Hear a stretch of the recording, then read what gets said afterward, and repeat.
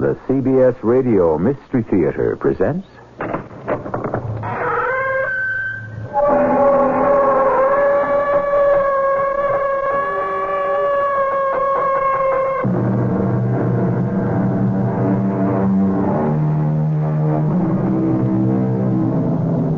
Come in. Welcome. I'm E.G. Marshall. My grandmother was a great one for precepts and proverbs. One of many I remember is, He that doth what he will, doth not what he ought. That was Grandma's warning against willfulness. The amazing lengths to which perversity can lead you is the extraordinary mystery by Mr. A. Conan Doyle. About to begin. Edwin, you see before you one of the finest young actors in America. Myself. And I'm getting rich. Oh, really? You've been acting on the stage in New York? well, not exactly. You see, Edwin, I'm very good at disguises. So I act out a little part. I'm a young Englishman, a college student, what have you, to induce gentlemen of means to play cards with me. Card playing. That's where the money is.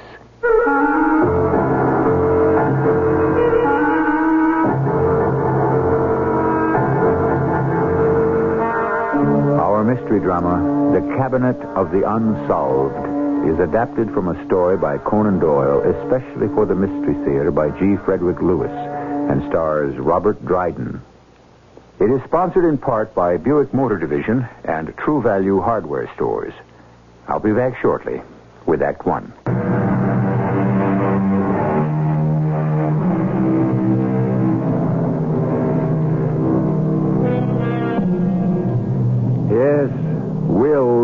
Cause of woe.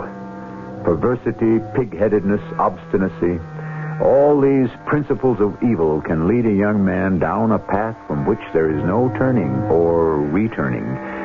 We are all born into this world the same way, but the roads we choose are too often our undoing, to which Inspector John Hilliard of Scotland Yard can well testify. A display cabinet at the yard marked unsolved. In it are items of clothing, weapons, empty bottles of poison, a parasol, even a pocket Bible. Evidence still insufficient to bring the guilty of various crimes to justice. I had in my hand a letter just received, which at long last might be the key to solving the Manchester Express murder. A case which began in London's Euston Station at half past four o'clock one blustery March afternoon. Are you taking the Manchester Express, sir? Yes, we are. First class coach, please. Are you the train guard? I am. If you and your lady will follow me, I'll find your compartment. Oh, one that is empty, if you please. My wife doesn't wish to be disturbed during the journey. I will if I can. But the five o'clock in Manchester is generally crowded. Hey, here we are. Hey, let's try this compartment door, shall we? Oh, oh. I'm sorry, sir. I'm looking for a vacant compartment for this lady and gentleman. That was a smoking compartment. That man in there was smoking a cigar. The lady cannot abide smoking. We'll give it another try. If we'd have to look sharp, the train's about to leave. Ah, this one is vacant, sir. May I hand you up your Gladstone bag? No, never mind. Well, in you go, madam. You'll have the entire compartment to yourselves. Now, you, sir. You sure you don't want a hand with that bag? I said no. Now shut the door.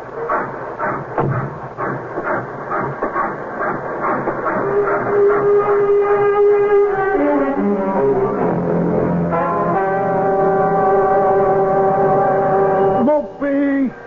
Mopey! The station is Mopey. Hey, thank you. The train's five minutes late. We'll make it up before she pulls into Manchester. I say there, do you know that one of your compartment doors is open? Right behind you there. Uh, one in first class. Huh? Did someone just get off? Not at all. This door was open when you rose rolling in. Here, let's have a look, huh? Uh, that's strange. There was a man with a cigar in here, Houston. Uh, nobody in here now. A short, red-faced man with a black beard smoking a big cigar. Oh, that's why I put the gentleman and lady in the next compartment. Oh, let's ask them. Perhaps they know something. Oh, my lord. Will you look at this? Is he dead? There's a hole where the heart is. A bullet hole, I warn you. Hmm. Lying there. Such a young fellow. Did he get on at Euston? Well, not to my knowledge. I've never seen this unfortunate young man before. As I say, I, I know I put a gentleman and a lady in this compartment. Are you quite sure, Jim? A lady? Well, look up there over your head. What do you say? A lady's parasol. Oh, you're taller than I am. Would you reach it down from the luggage rack? Uh, oh, yes, yes. That's the parasol she was carrying. Huh. Three missing persons and a corpse. Oh, I can't let the train go on to Manchester now. Oh, you're right. Yeah. What you going to say, Jim? Well, not to expect the express to be on time today. And right quick to get on to Scotland Yard. That was how I got into the case. Three hours later, I was in Maltby. I identified myself as from Scotland Yard and found Jim Sloan, the Manchester Express train guard. He took me to the scene of the crime. Well, there's your body, Inspector, here. You just as uh, the Maltby station master and I found it. We haven't touched a thing. Mm-hmm. I'd say the bullet penetrated the heart at close range. Death must have been instantaneous. All right, let's have a go through the man's pockets. Oh, goodness. Look at this, Mr. Sloan. Two gold watches in his waistcoat. Here's another watch in his ticket pocket. I- is there a ticket, Inspector? Uh, I haven't run across it yet. Another watch in the breast pocket. Ah, that's not all. Look here. This leather strap round his left wrist. There's a watch there also. Six watches. Oh, well, I'd venture to say this man was a pickpocket. Mm, that might explain it. On the other hand, no. No? These two watches are American make. So is this one. Ah, they all are. Rochester Watch Company. Mason Watches, Elmira, New York. Ah. Well, now we're finding a few interesting items. A small circular mirror. A silver box with matches. One brown leather cigar case. Hmm. I'd say whatever led to the young gentleman's death, the motive was certainly not robbery. And no railway ticket? No ticket. And as far as I can see, back of his shirt, inside his jacket, no marking or labels whatsoever. The two you put in here, what luggage did they carry on at Euston Station? In London? Well, let's see. The gentleman carried a large Gladstone, and oh, he was quite definite about not letting me handle it. Uh, and the lady, all she had was that parasol there. Ah, yes, on the seat. Is that where you found it? Oh, no. No, I'm sorry. We did move it. The station master took it down from the luggage rack at my request. I'm, oh, I'm sorry about that. Uh, will you be needing me any further, Inspector? Hmm? Oh, yes, yes. But I'll have the yard notify the Northern Railway people that I want you to remain here in Maltby. There'll be an inquest, and we shall need your evidence.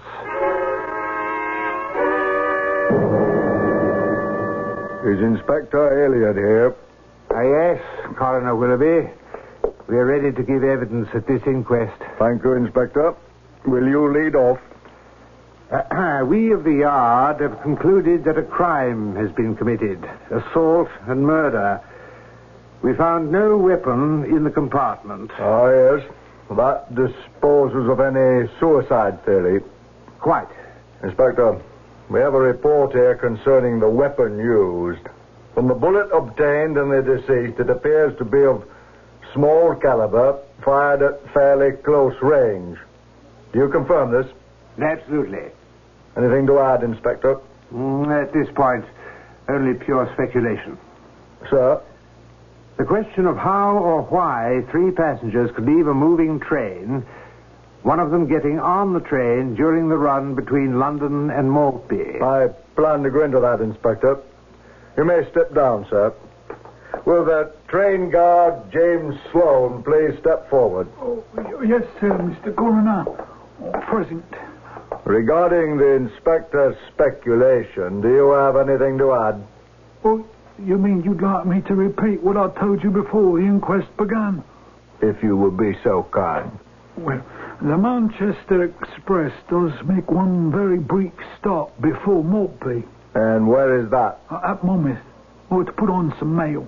And, uh, Mr. Sloan, did you see anyone get on or off the train at Monmouth? Oh, I didn't, but I was fairly occupied loading the mail. Well, the express make no other stops before you reach Maltby? No, sir. Oh, there's one spot where we slow up uh, between uh, Pettisford and Chelteney.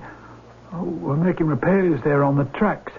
At that point, we lower our speed to eight, nine miles an hour. Well, would you say, Mr. Sloan, that at that place it might be possible for a man or even for a particularly active woman to have left the train without serious injury? Oh, I, I would say it was possible, yes, sir, Mr. Coroner. Of course, perhaps not unobserved, sir. Well, who could have seen them? Well, Pettisford is an hour out of London. We left Euston at five. That will make it six-ish. It's possible, uh, possible the railroad gang or plate layers might still have been working there. Uh, Mr. Corner, may I add something here? Well, certainly. You are the station master in Maltby, isn't it so? Yes, sir. I spoke to the foreman of the railroad gang, but they saw nothing. Oh, so it's the view of you gentlemen, I take it, that someone might have jumped off the train unseen or jumped on. Uh, Coroner, that is our view as well. At six o'clock or so, it is fairly dark this time of year. There's probably an embankment, Uh, oh, yes, sir. Right, right along there, sir. A steep embankment. uh, which could have served to screen anyone from sight. Uh, may I suggest, Coroner, that we recess this hearing until I've had the opportunity to actually walk the distance between. Uh, uh, where did you say the two spots were, Sloan? Uh, Pettisford and Chelney. Ah, yes. It is also quite possible that along that route we may discover the murder weapon.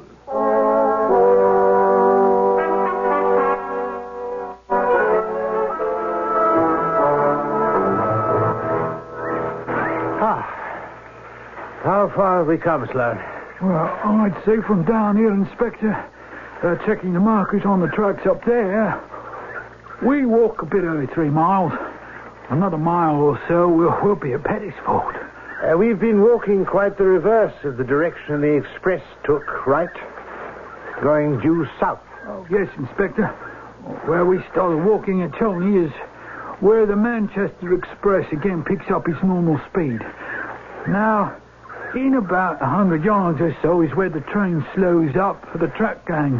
Ah, well, we haven't run across them. But, well, now, it's Sunday, sir. Nobody works on Sunday. so it is. You keeping your eyes open, Sloan? Indeed, I am, sir. If there's a gun lying somewhere along here, it won't escape me. Uh, wait a minute. What's this?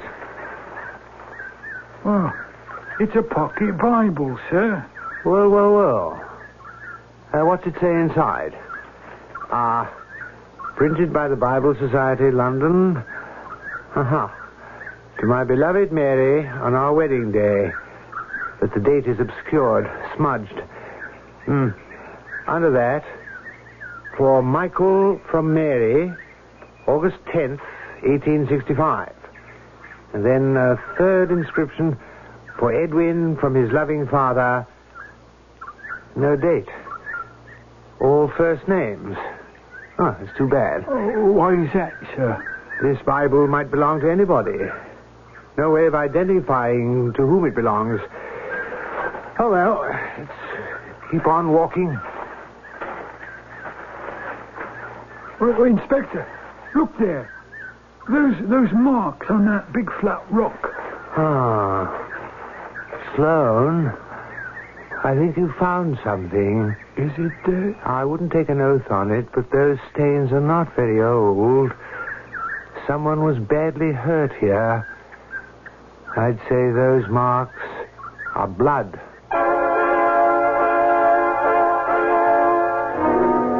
Nothing can be more frustrating to students of sleuthing than mysterious disappearances. Couple that with a corpse that rode a train without a ticket, and you've got reason for a lot of head scratching by Inspector John Hilliard. Does he come up with splinters or solutions? Wait and see when we return with Act Two.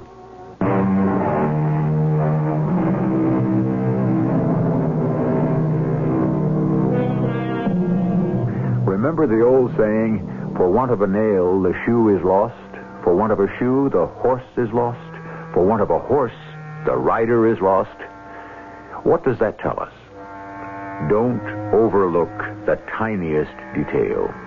It is that ability to probe and to question that has made Inspector Hilliard his reputation. And sometimes you add up two and two, and four is not the answer. Inspector Hilliard, are you prepared for the resumption of our inquest into murder discovered in a first class compartment of the Manchester Express? I am and I am not. Aren't we being a little cryptic, Inspector? Uh, Coroner Willoughby, we found no identification or manufacturer's labels on the garments worn by the deceased. No papers, some money, a strange small circular mirror, and six American pocket watches. Well, have you any theory how the deceased came to be inside the train compartment and yet apparently not visible when the train guard let in the gentleman and the lady? Yes, I have. He could have been concealed under the seat, which leads me to the second part of the theory. After the train left Euston Station in London, choosing to remain where he was, possibly the deceased overheard some secrets, which were of such a guilty nature that the man and woman dragged the victim from his hiding place and killed him. You put the death then down to an accident of meeting? Not the means. That was quite deliberate. But it is hardly likely the three could have met in that compartment by design, since Mr. Slow and the train guard was the one who opened the door of the compartment for them. The compartment he had intended them to occupy was taken by a gentleman smoking. A gentleman who, at this point, is also missing. Ah, quite.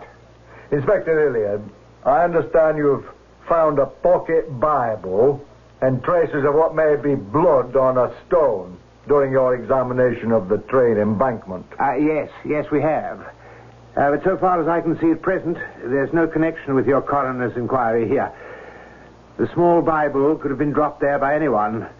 And even if the stains are identified as human, where would that lead us? I agree. Insufficient evidence to be meaningful to the purposes of this inquest. Anything else? I'm afraid not at this time. In view of that, Inspector, we would have no reason to alter or amend the coroner's verdict of murder by a person or persons unknown. Which brings us up to date. There, right before me, was the yard display cabinet representing crimes unsolved, filled with what the Maltby coroner had said was insufficient evidence to be meaningful. The parasol, the pocket Bible, the small mirror, the watches, the bullet taken from the deceased, but no gun, no fingerprints, no culprit. In short, no case. That is, until this morning, when I received this letter in my hand. Dear gentlemen of Scotland Yard, the last time I was in London, I was particularly fascinated by your display cabinet in the main hallway marked Cases Unsolved. I would imagine the case of the, Manchester, Express, murder. And whatever evidence you have collected is now in that cabinet. Perhaps after you've read this letter, you can mark that case solved. My people came from England, immigrating to the States in the 1850s, and settled in the town of Rochester, New York, where my father ran a dry goods store.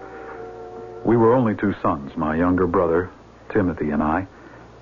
And one unfortunate day, out of the blue, my mother was stricken and died. My father, who loved her very much, went to pieces and suffered a stroke. Good morning, Father. How did you sleep? Uh, oh, what, what time? What time it is? Oh, uh, when is I've overslept in the store. The doctor said the best thing for you to do is rest and take care of your heart. Uh, my heart. She took it with her when she died. Ah, my beloved wife. Uh, Edwin, on the window seat is her little testament. The one she used to take to church. Uh, bring it here. I, I see it. I, I want you to have it, Edwin. Dearest Mary would want you to have it. When we were first married, I, I gave it to her. Uh, never be without it. Do you promise? I promise. Not that you need prayers as much as your brother. That Timothy, that boy. Uh, you think you can take care of him? Of course I can, Father. Now, don't you worry about Timothy. Uh, And you remember, he's ten years younger than I am. And even though he's a senior in high school, I can still take him across my knee if he gets out of line. uh, that's good. He's a wild boy.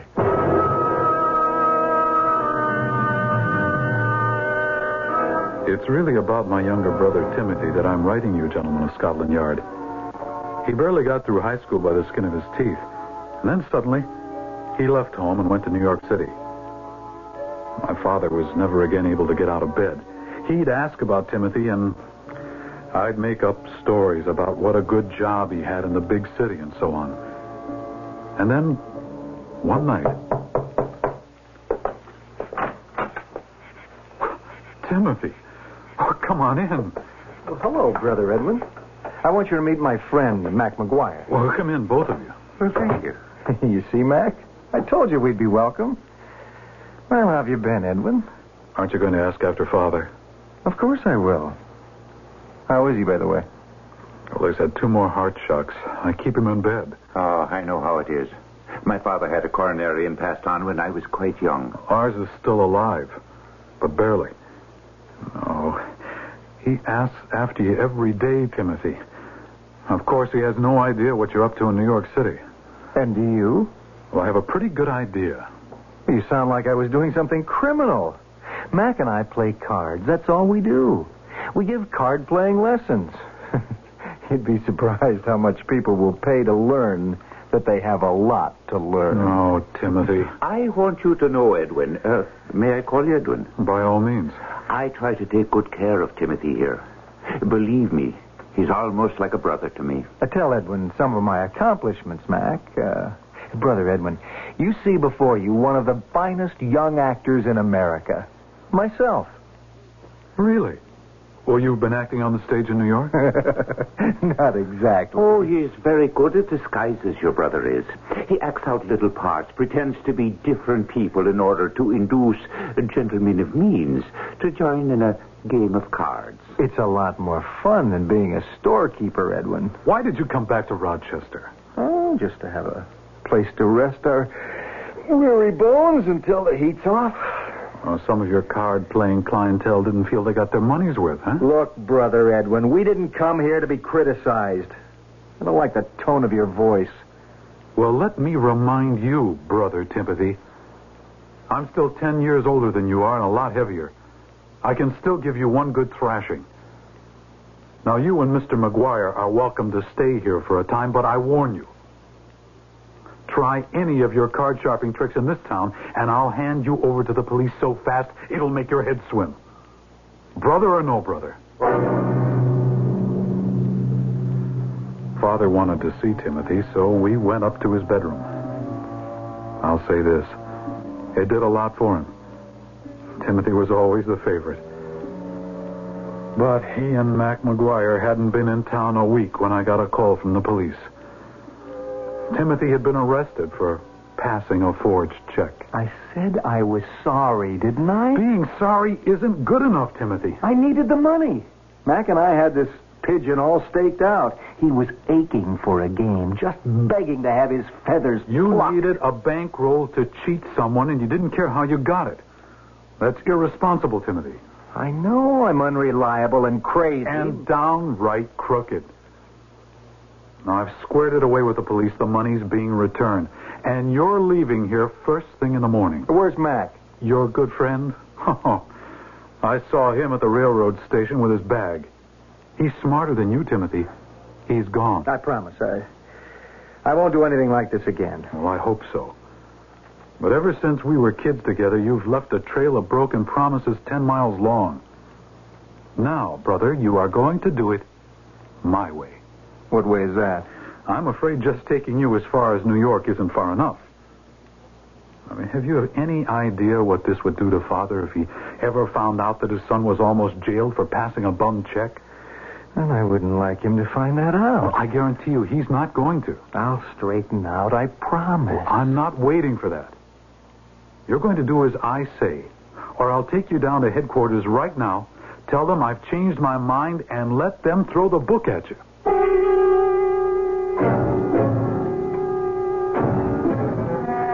The next morning, I got a nurse from the hospital to come in and take care of Father. Told my assistant I'd be gone for a few days and to keep the store running, and I brought Timothy down to New York. I had a friend there, an exporter of American watches who needed a representative in England. Now, the idea of going to London appealed to Timothy. He had no trouble in talking himself into the job and agreed to go to London with a full case of samples at 15% commission on all sales. I remained with Timothy in New York until the boat sailed. Well, there goes the all ashore signal. Edwin, thanks a lot for everything. I promise you I'm turning over a brand new leaf and become an honest man. Well, I hope so.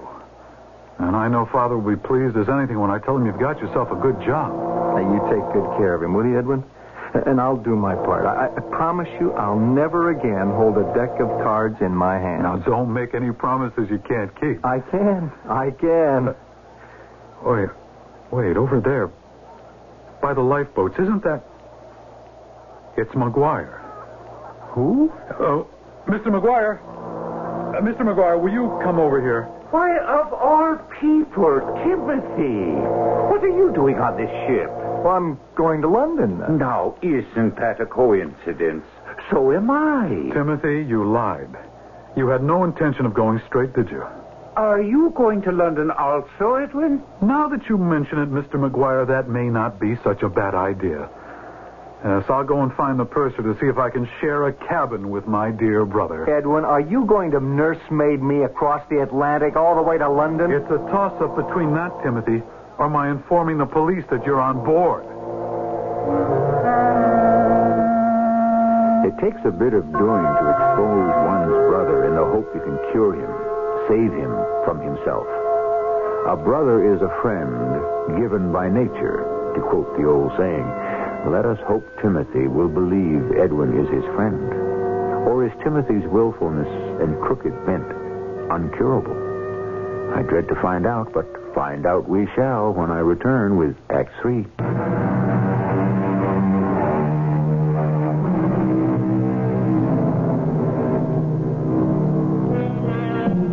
Oh, where are we? Oh, yes. Standing beside Inspector John Hilliard in front of a display in Scotland Yard of evidence relating to crimes unsolved. In his hand is a letter, perhaps the key to a mystery that has plagued the yard for years. Three passengers disappeared from the Manchester Express one day, leaving only a corpse behind them and not enough clues for a solution. The word evidence derives from the Latin meaning to see more. Perhaps this letter the inspector is reading will enable him to see more. Gentlemen of Scotland Yard, if I've gone into some detail, it is because I want you to understand the predicament I was in. The ship sailed, and I, shared a cabin with, my brother. But as the days went on, I realized my hands were tied. Timothy had decided on the easy way, the wrong way to riches, and, well, he thought me a sanctimonious fool. Are you going to follow me all over the world, St. Edwin? Watch over me as if I were a child? Oh, surely you must feel just a little bit idiotic. I'll tell you what I feel. I feel ashamed. I thank the Lord Mother's not with us any longer, and that Father need never know what his favorite son turned out to be. Now, if your lecture is over, I'd like to join some friends in the salon. Oh, Timothy, listen, please. Look, here's Mother's little Bible, remember? The one she used to take to church. Yes, I remember. Oh, for her sake, give it up, this, this life of yours. You still can. Put your hand on Mother's Bible and, and this time promise. Mac is waiting for me. I'd like to go now. You have a good job in London. You're a good salesman. I'm not cut out to be a salesman. Father was, you are, but not me. Then why did you take this job? Why not? The old fool paid my passage. I always wanted to travel the Atlantic on a steamship. Mac said we could clean up from Block Island to Southampton. I couldn't give up. Somehow I had to make Timothy see the error of his ways. In the ship's salon, I found him and that McGuire playing poker with two passengers. Two, Two lambs about to, be fleeced. I knew that if I didn't warn them, I was no better than an accomplice. Gentlemen of Scotland Yard, as I walked over to the table, I kept saying to myself, this is the right thing to do. I'm not being a Judas betraying my brother. I'm saving him while there is still time. Hello, Edwin. Gentlemen, may I interrupt this game for a moment? No, you may not.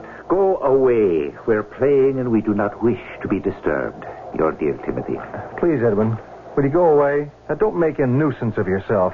Timothy, will you get your brother out of Uh, here? this gentleman is Mac McGuire. Have you been introduced? You see, Mr. McGuire is one of the most notorious card sharpers in the United States. Prove it, you meddlesome idiot. Oh, I'd be glad to. I'll sue you for slander.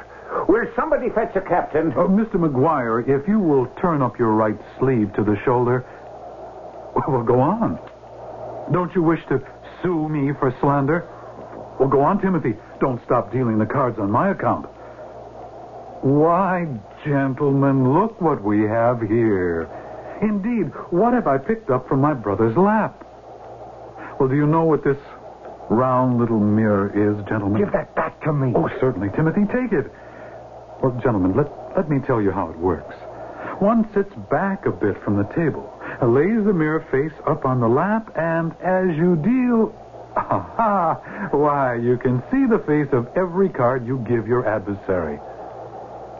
You see, one can learn a great deal about card sharping if one's brother is in the business. I'm getting out of here. The game's over, gentlemen. As I write this letter so many years later, I recall that Timothy was very quiet and reserved as we arrived in London. I installed him in a flat, and he seemed quite shaken by the scandal aboard ship. Or so I thought.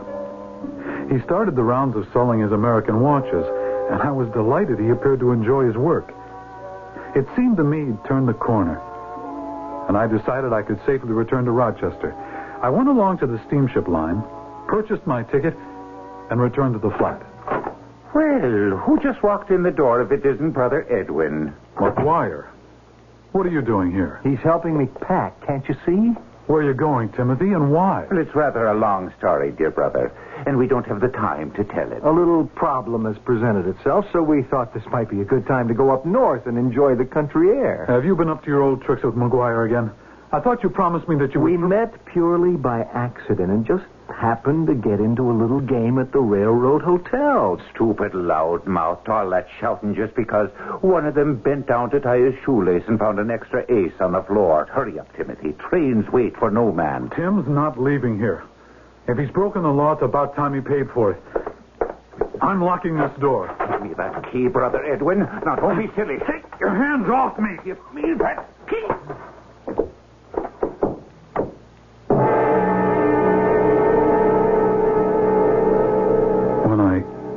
came to, McGuire and Timothy were gone. I thought I'd heard Timothy say something about the Manchester Express. I pulled myself together and hailed a cab to Euston Station. The express had not yet left. I promised myself I'd go all the way to Manchester, find my brother, and do everything in my power to get him back on the straight and narrow. I found a compartment at the smoking end, got inside, lit up a cigar, and waited for the train to leave. Oh, I'm sorry, sir. I was looking for an unoccupied compartment for this gentleman and lady. There's a man smoking in there. No, no, that won't do. The lady cannot abide smoking. Find us another one. It was McGuire, disguised. And standing behind him in a long cape was Timothy, made up to look like a woman. A wig and a black veil down his face. His disguise, complete with lady's parasol, didn't fool me for a moment. When we stopped at Monmouth to take on mail, I quickly changed compartments. There were no corridors between compartments like on American trains. The doors opened only to the platform. But nobody saw me. I should have locked our compartment door. Didn't I tell you, Timothy? Brother Edwin would find his way in here. Well, how's your jaw? Timothy, for heaven's sake, listen to me. I've been listening to you all my life. Preach, preach, preach. That's all I've ever heard. Oh, look at you. Wearing those ridiculous curls, a veil, pretending to be a woman. I had to wear all this. How do you think I could get by the cops? It's good, isn't it? Oh, Timothy, please come to your senses. Are you going to spend all your life cheating and running? Haven't you got more pride? What's happened to you? Oh, do I have to sit here the whole way to Manchester listening to this Boy Scout brother of yours? I'm not talking to you, McGuire. Well, that suits me fine. Just don't cross me. Oh, come on, Mac. You don't have to threaten anybody. He means well. It's just the way he is. You don't see yourself at all, do you, Timothy? The conductor's been around to punch tickets, so I'm taking this stuff off. I'll shove the wig and the veil and the cape into the Gladstone. Where'll I put the parasol? Timothy, you can't go on like this for the rest of your life, stealing people's money and having to skip town. I like this kind of life.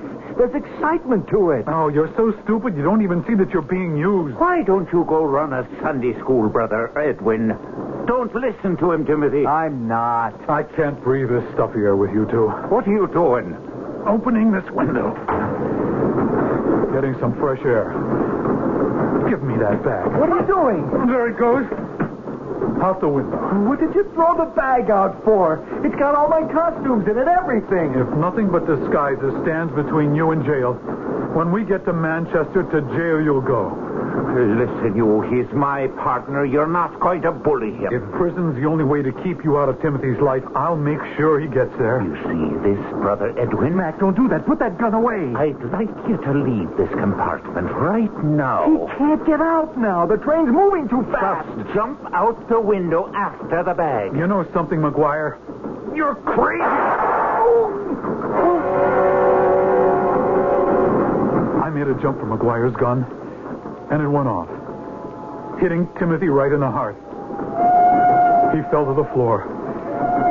We stood there, horrified. I knelt down and listened.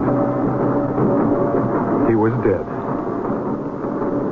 At that moment, the train started to slow down. Why, I don't know. McGuire saw his chance to escape, opened the compartment door, and jumped. I jumped right after him. He wasn't going to get away from me. The two of us rolled down the embankment, and then I blacked out. When I came to, McGuire was mopping my head where it was cut with a handkerchief. I couldn't leave you out here alone, Brother Edwin. Oh, oh my, my head. Just stop bleeding now. Oh, I don't understand you. Or aren't you a dozen miles away? Well, now, I couldn't run off with you lying here at the bottom of this embankment. You. You shot Timothy. You had a hand in it. The gun wouldn't have gone off if you hadn't jumped me. Oh, good Lord, forgive me, so I did. My head's clearing now. Well, you crashed right into that rock. Oh, why are you still here, McGuire? You should have run away while I was unconscious. Oh, I couldn't do that. I'm a gambler, not a murderer. You could have bled to death. Oh, that would have made everything so simple for you. Ah, you don't know me at all. The blood of the both of you on my hands in one day. I know you cared for Timothy, but so did I. Maybe by your standards, it was a funny way of showing it. Didn't mean any harm. We only played men who had money to throw away. I think of Timothy right now. Lying there in that compartment on that train. Alone. Dead, and that I should have. Oh, that I should be the cause of it. Uh, it was my gun. We were both the cause of it. I ask myself. Shall I give myself up? I'm ready too. This way, I don't think I'll ever. I'll ever get over his death. How else could I pay for it? Oh, but if we do, everyone will know. It'll all come out about him. The news will certainly get back to America. Father will hear of it. It could finish him. And if we each go our own way and, and not ever tell anyone, we'll be punished every day we see the sunshine. Yes, and that may be the greater punishment. There you have it, gentlemen of Scotland Yard. I've come to the end of this letter.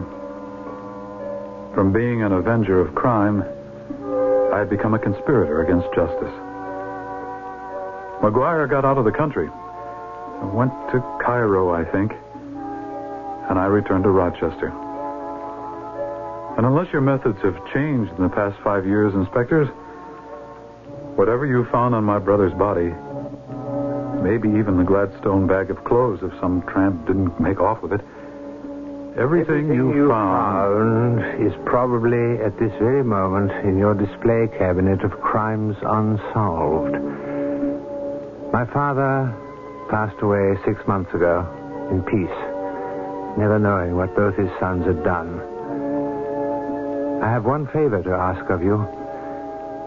If you have in your possession a pocket Bible, it was my mother's. May I have it back? It's of no use or evidence to anyone but me.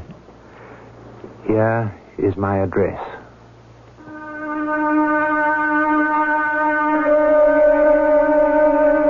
Inspector John Hilliard unlocked Scotland Yard's cabinet of the unsolved and withdrew a small pocket Bible. In its place, he pinned a letter he had been reading. Though the case of the Manchester Express murder was technically solved, it could never be called closed. I shall return shortly.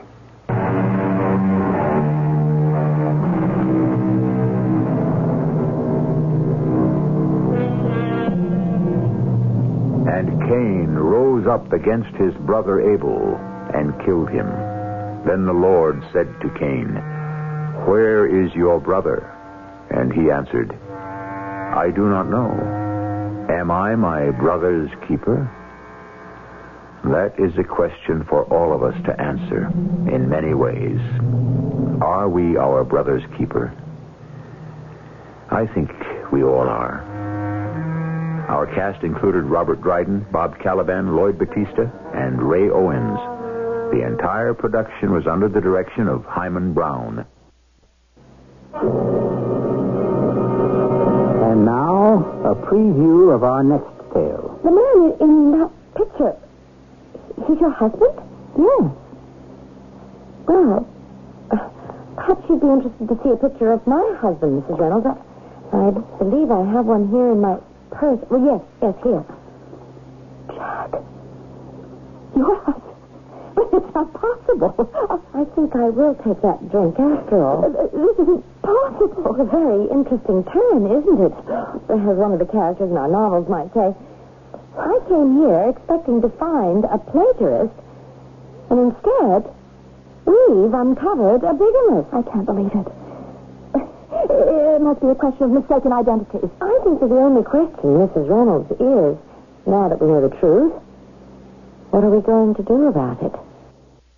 Mrs. E.G. Marshall inviting you to return to our Mystery Theater for another adventure in the macabre.